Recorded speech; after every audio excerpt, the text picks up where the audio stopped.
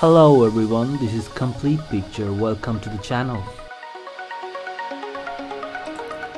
Guys, today we are going to see how to catch tuna fish from the sea and store it into the deep freezer.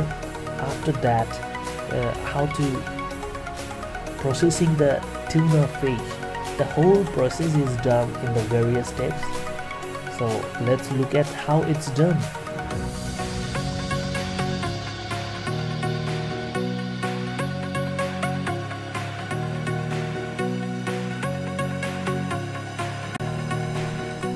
That ship is going to catch the tuna fish from the sea.